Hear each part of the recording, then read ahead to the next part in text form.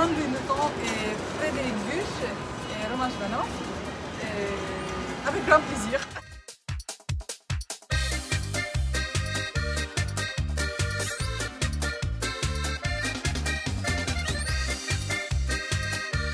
Bonjour. Bonjour. Я же говорил по-русски, ничего не понимаю. Поэтому merci beaucoup.